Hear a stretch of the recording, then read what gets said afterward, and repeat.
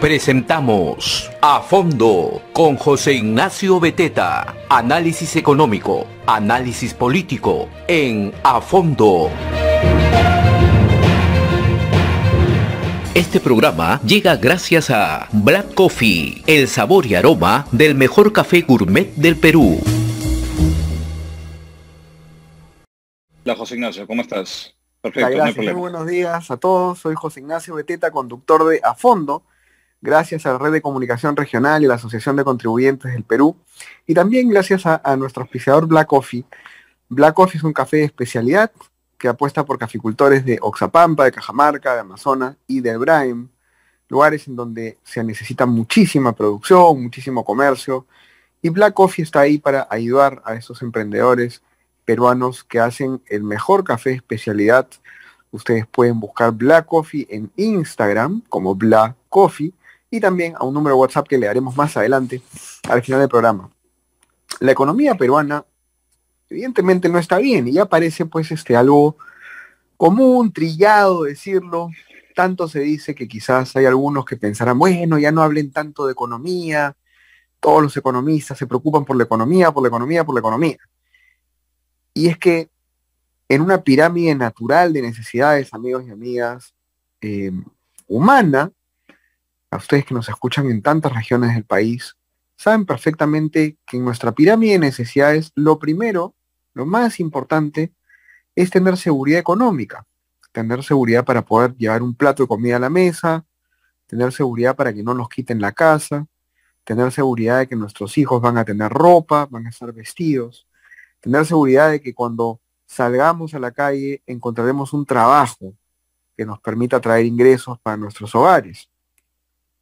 Si no tenemos eso, luego no podemos conversar de nada, no podemos debatir de nada, no podemos estar en paz, no podemos, digamos, llevar una relación armónica, natural con nuestras familias, con nuestros amigos, con nuestra comunidad y por lo tanto tampoco con el Estado.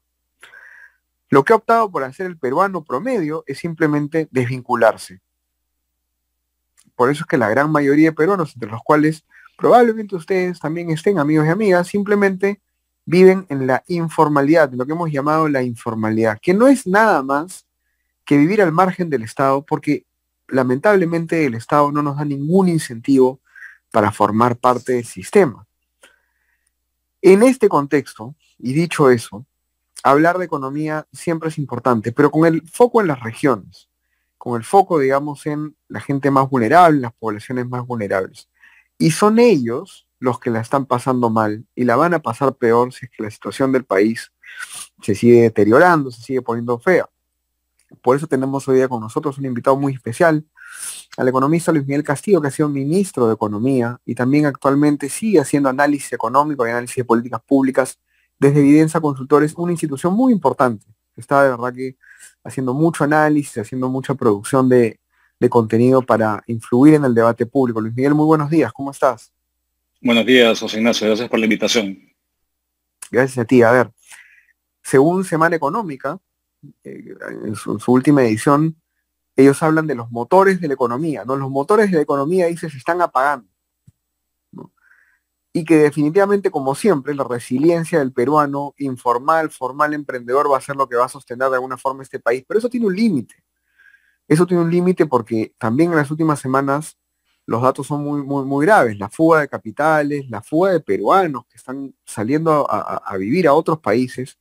Además, no peruanos, eh, vamos a llamarlo así, de, de, mano de obra no calificada, sino peruanos que son talentos profesionales, con estudio posgrado, gerentes, etcétera, se están yendo del país, no solamente capitales, sino también personas. En este momento, más allá de la crisis política, ¿cómo terminamos el año en términos económicos? Este año es un año bastante inusual, José Ignacio, porque este año es, atípico. Estamos en un rebote económico estadístico muy grande después de la contracción producto de las cuarentenas tenemos un crecimiento que según el BCR puede llegar a 13% al cierre del 2021. También a esto se suma el hecho de que tengamos eh, vientos a favor muy positivos, el precio de la materia prima, el cobre, los commodities que exportamos ha, sido, nos ha dinamizado muchas exportaciones. Y lo tercero es que eh, estas dudas respecto a la vacunación se han zanjado pese a haber variantes y, riesgos siempre latentes, pero esto ayuda a una recuperación, más obviamente los impulsos que dio el gobierno inicialmente de liberar ahorro privado, CTS, AFPs, etcétera. El, problema eh, está hacia adelante, si es que se va a poder sostener esta recuperación económica y el consenso de, economistas, analistas, tiene muchas dudas respecto a la continuidad de esta recuperación. Entonces, la, pregunta es, ¿este 13%, quitándole todo el, impacto que, que, he explicado, va a continuar? La respuesta creo que es no.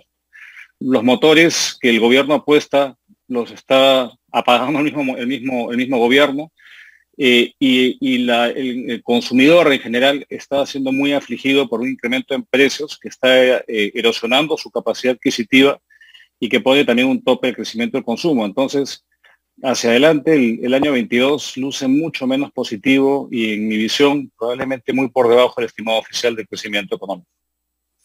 De acuerdo, este factor rebote efectivamente, como dices, engaña un poco porque claro, estamos saliendo pues de la fosa, del hoyo, ¿no? Pero, pero además mencionas ese tema del consumo y el tema de los precios. ¿Qué debería hacer este gobierno en esas circunstancias para poder justamente volver a prender los motores? Hay una política en debate ahorita para subir impuestos, para generar una mayor carga tributaria, que, además está rodeado de un componente político, creo yo también ideológico muy fuerte. ¿Es correcto eso en estos momentos? No, creo que no. Este, reconociendo que en el Perú la carga eh, impositiva, la presión tributaria, como se denomina, e, es baja comparado con el resto de la región, pero no es baja porque tengamos impuestos bajos. Es baja porque la SUNAT no, no puede cobrar en altísimo nivel de incumplimiento. De, que de todas las, del, impuesto a la renta de las personas, solamente el 10% paga impuestos.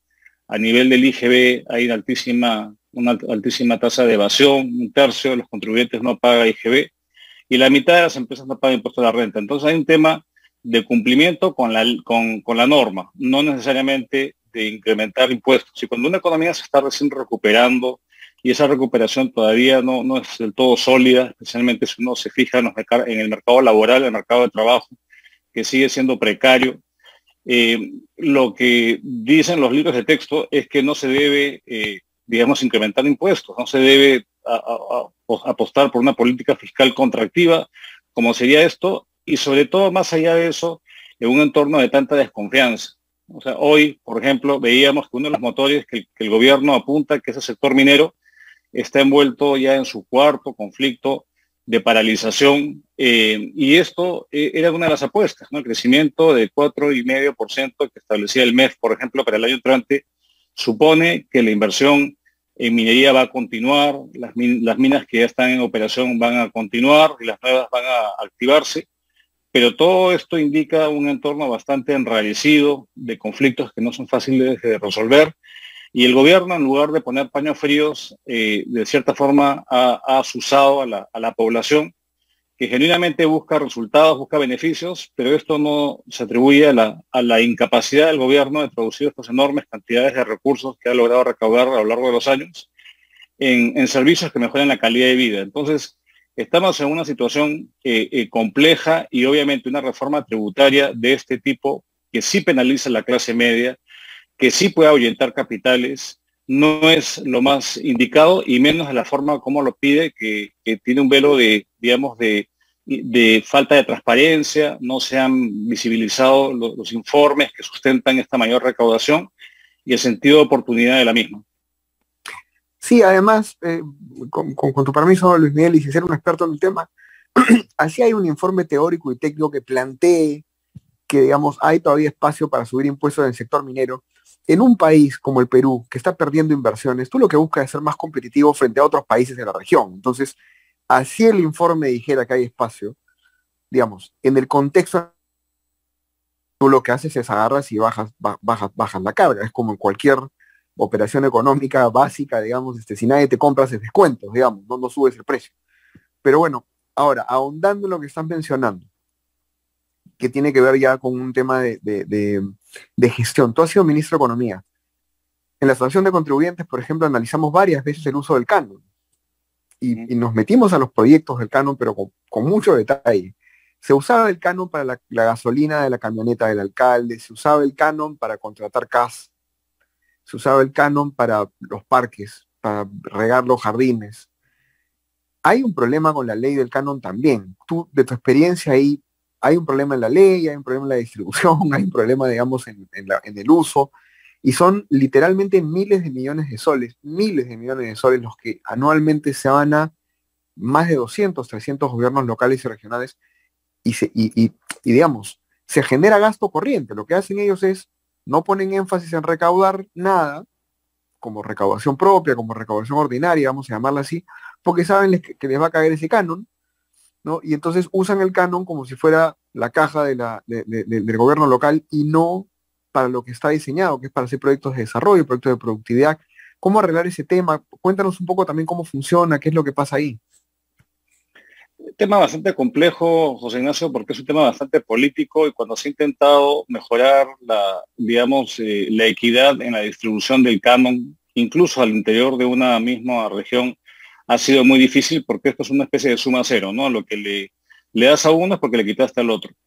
Y, lo que ciertamente eh, ocurre es que muchas autoridades locales eh, y regionales vulneran la ley, porque el canon no puede ser utilizado para justamente los, usos que tú has descrito en tu, en tu explicación. Son para reducir brechas sociales eh, en agua, saneamiento, educación, cuestiones que son, que son claves para mejorar la, la calidad de vida de la gente. Y lo que ha ocurrido ha sido que cada vez que se ha intentado cambiar eh, esto, eh, ha habido una, digamos, un, reclamo de, muchos gobiernos regionales que prefieren mantener el status quo y gobiernos locales que tienen incluso más recursos que los gobiernos regionales. Eh, y acá esto responde no solamente a los problemas de gestión pública asociados acá, sino en general. Tenemos una proclividad a financiar pequeños proyectitos que son más sujetos a ser capturados por intereses o por, por, corruptelas. Eh, hay una altísima rotación de autoridades, hay falta de capacidades.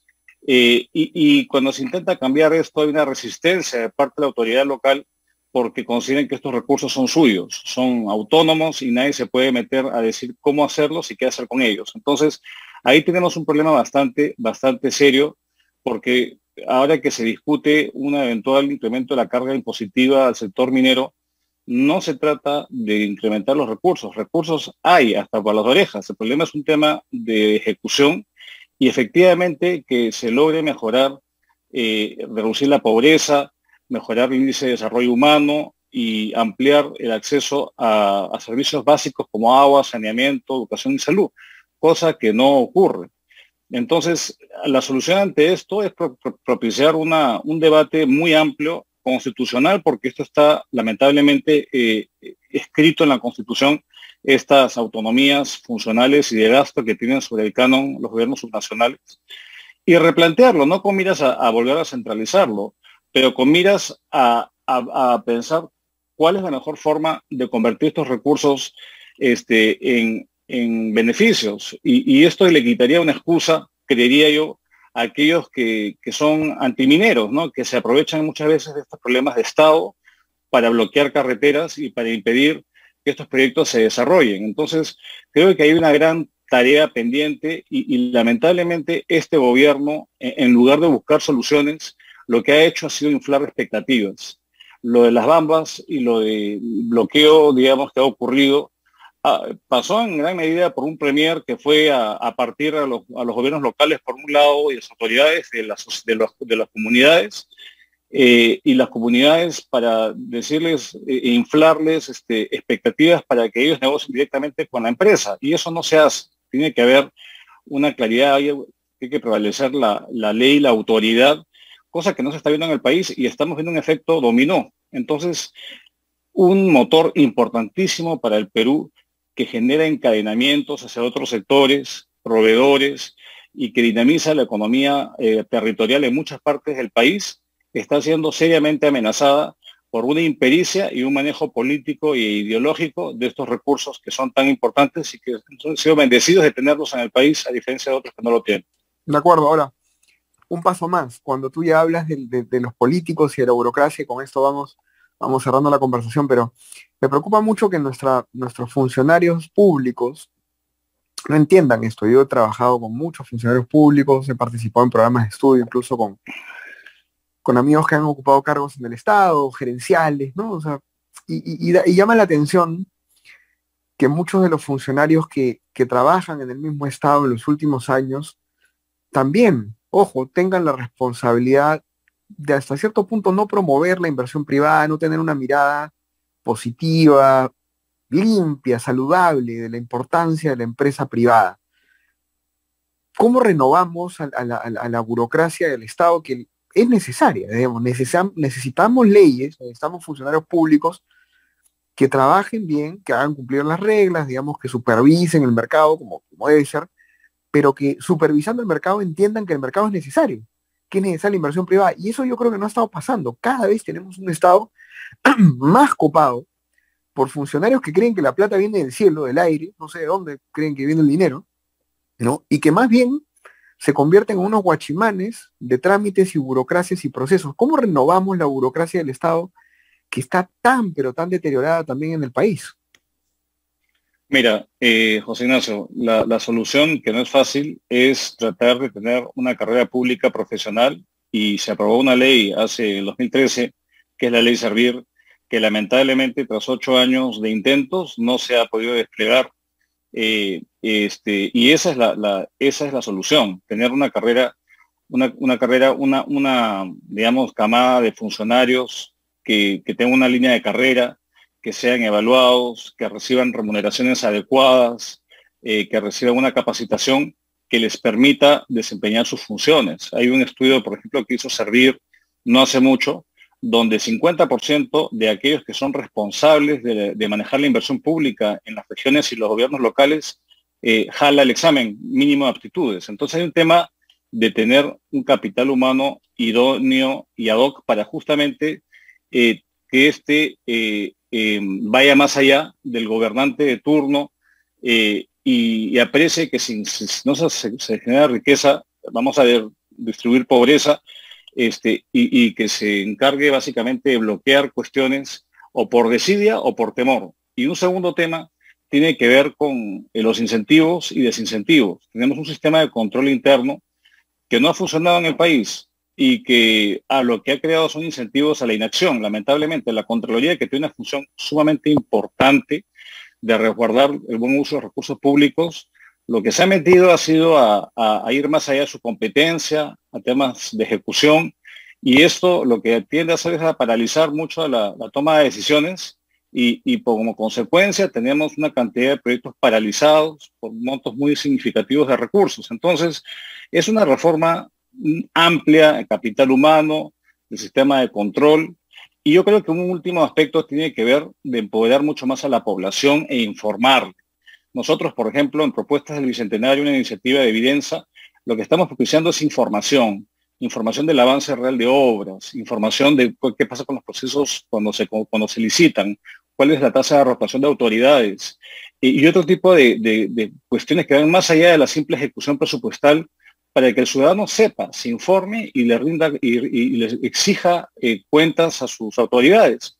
Ahora que estamos entrando, en 10 meses tenemos elecciones regionales y locales nuevamente, es un momento en el cual el ciudadano debe estar informado y que no se deje, digamos, engañar por aquellos que le permiten, que le prometen cosas fáciles que probablemente sean incumplibles y populismos desaforados como el que estamos viendo. Y el último mensaje es que también el líder máximo del país tiene que predicar con el ejemplo. Un gobierno que no tenga liderazgo, que no tenga un norte claro y que sean marchas y contramarchas, esto irradia al resto del Estado y hace pues que haya un nivel de mediocridad que lamentablemente se está imponiendo en los tres niveles de gobierno y eso es muy perjudicial para el progreso del país. Entonces yo creo que es un conjunto de estos aspectos para mejorar la calidad del gasto público, de la gestión pública y darle beneficios a la ciudadanía. De acuerdo, más voluntad política de liderazgo desde la cabeza, más información, más empoderamiento, que tiene que ver con transparencia, de acceso a información también del Estado y finalmente efectivamente una carrera pública que, que funcione, queda muy claro. Muchas gracias Luis Miguel por estar con nosotros. Ha sido un gusto saludarte y conversar contigo. Gracias, José Un abrazo. Gracias, señor Luis Miguel Castilla, ex ministro de Economía y además director de Evidencia Consultores, una institución que hace análisis en políticas públicas conversando con nosotros sobre ese tema tan complicado, la verdad, porque amigos y amigas que nos escuchan desde regiones, ustedes, les, repito, pueden estar preocupados por la vacuna, por la bodega, por el trabajo, por la ferretería, por la peluquería, por, por los hijos, por el colegio, y están muy bien, esas preocupaciones son muy importantes. Cada vez que ustedes trabajan, generan riqueza para sus casas, están haciendo algo muy noble, muy valioso, es lo más importante que pueden hacer. Pero esto es una comunidad, vivimos todos juntos.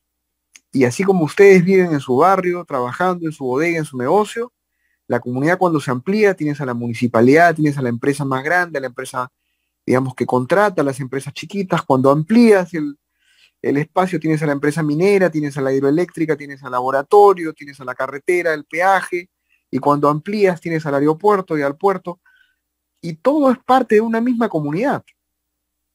No es que el aeropuerto, el puerto, la minera estén desconectados de tu vida, son parte de tu comunidad. Entonces, cuando un político, un presidente llega a gobernar un país, tiene que gobernarlos a todos y tiene que preocuparse porque todos puedan trabajar, porque todo funcione bien. El aeropuerto, el puerto, la hidroeléctrica, la empresa minera, ¿no es cierto? La empresa que te genera el agua, la empresa que te genera la luz, la empresa que te genera el gas todos tienen que trabajar bien. Tú no puedes bloquear a la empresa que te genera petróleo, que te genera gas, y luego ir y decir que tú te preocupas por los más pobres. Porque le estás pegando a alguien que está en tu comunidad. La comunidad no solamente es la comunidad rural chiquita donde están los campesinos. Eso es mentira. Esa es la ilusión que nos quieren vender. La comunidad no solamente es el barrio de tu casa de 10 cuadras que queda en el Callao, en un pueblo joven, en San Juan del Urigancho. No, eso es mentira. La comunidad es todo. La comunidad son los pequeños, los medianos, los grandes. Solamente es un tema de abrir el círculo y te vas a dar cuenta cómo cuando abres el círculo y echas más luz, están todos involucrados en esa comunidad, porque los grandes le dan trabajo a los pequeños, porque los medianos les dan trabajo a los pequeños, porque los pequeños necesitan a los grandes. Hasta que no entendamos eso, vamos a seguirle creyendo esos cuentos a toda esta gente ideologizada que anda por la calle vendiendo socialismo, vendiendo comunismo, vendiendo humo y que son los amigos de Castillo, los amigos de Bermejo, los amigos de Bellido, los amigos, los amigos de la Boluar. No les crean a esas ONGs que andan hablando mal de la gran empresa, hablando mal de las grandes inversiones, hablando mal de los ricos. Ya no les crean. Porque es evidente que el Perú no está caminando porque estamos divididos. Y esa es la principal división. Esta no es una división de izquierdas y derechas. La principal división es que nos están haciendo creer que los grandes son malos y que los pequeños y los chiquitos son buenos. Y viene el gobierno y te dice, yo me voy a encargar de los chiquitos y de los pequeños y de los buenos, atacando a los grandes que son los malos. Esa es la división y la mentira que tenemos que combatir. Muchas gracias a todos por estar con nosotros. Nos vemos el día de mañana en A Fondo. Hemos presentado A Fondo con José Ignacio Beteta.